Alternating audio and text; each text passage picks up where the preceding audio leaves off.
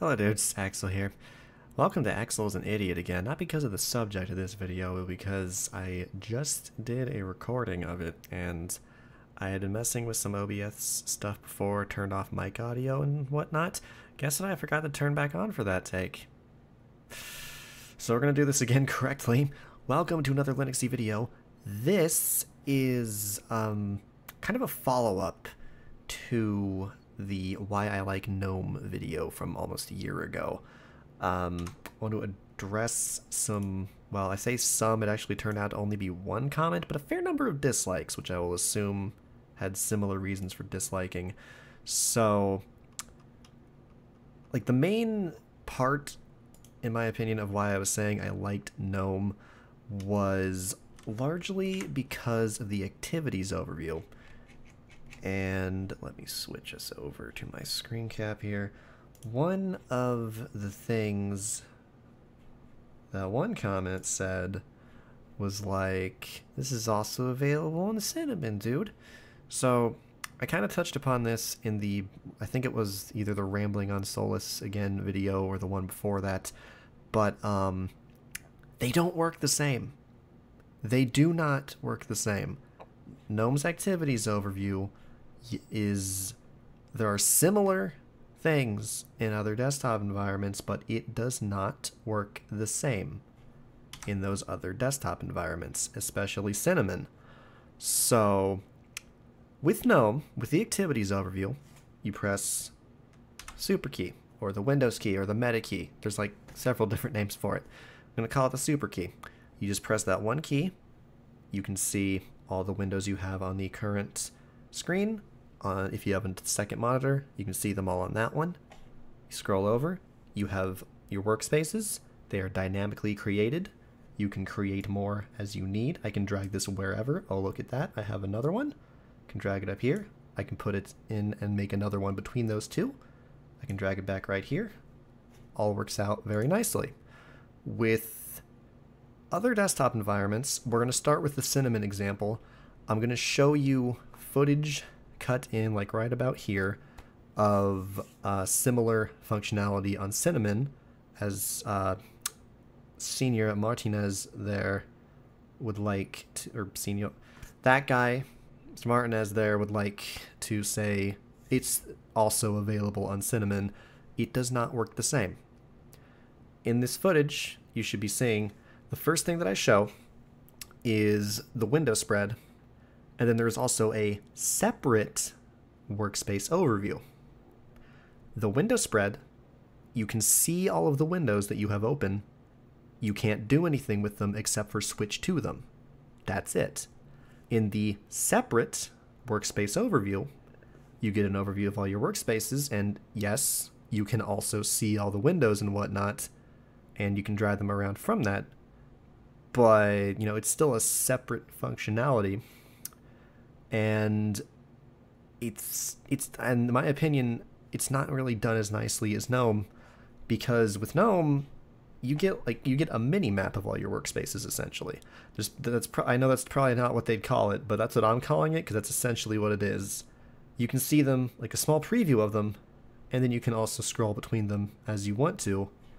Whereas with other desktops that have a similar function to let you drag your windows between the workspaces on an overview thing, you're kind of just seeing the overview and you can't really see the windows spread out as um, nicely as you can with GNOME. You also don't have quick and easy access to your favorited applications from that same overview. So, yeah, there's similar things with other desktops, but they do not work how the GNOME activities overview does. Not quite. It is different. So, you know, I'm not going to, so again, like, I'm not denying that there are similar functions with other desktops, but it does not work the same. That is the thing I want to make clear. It does not work the same. So, anyway, that's how it is with Cinnamon. And um, KDE actually has it very similar to how Cinnamon does it. There's the window spread, and then separately, there's the workspace overview, which technically you could see the the, the workspace overview as being like, oh, well, you can see all your windows open that way. But again, I, I, I like how GNOME does it better because you have a smaller preview of the workspaces off to the side, whereas you get the main view of the windows on the active workspace right in front of you, all nice and big and easy to see. So it is similar with KDE. It is similar with KDE.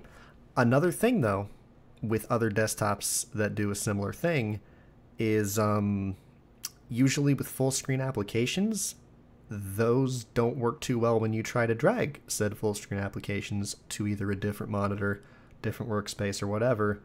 Doesn't usually work as well in those. With GNOME, it always works for me.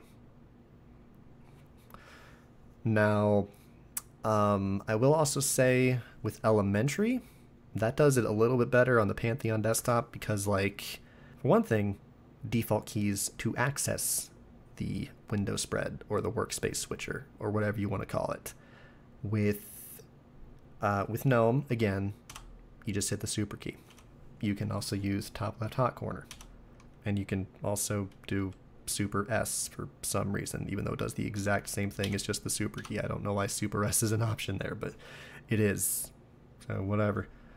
With elementary, super S for the workspace overview, and then super W for just the window spread. Which with elementary it's kind of weird actually because like the window spread is extremely redundant with the workspace overview because when you do the workspace overview, you get the window spread plus you can see your workspaces on the bottom kind of in icon form, not a preview like you get with GNOME. So I don't know why they have the separate window spread there because the workspace switcher just does the same thing but with more functionality to it. So either way, Pantheon does it kind of nicely, still not quite as nicely as GNOME. Cinnamon, the default shortcut for the window spread, Control Alt down. For the workspace overview, Control Alt up. That's uh, a little odd. With KDE, I I don't fully remember, but I think it's like Control Control F9 or something, and like Control F10. One of the F keys, 8 through 11, one of those ones is like that's for win- one of those is for window spread, one of those is for window spread of all of your workspaces and then you also get workspace overview with another one.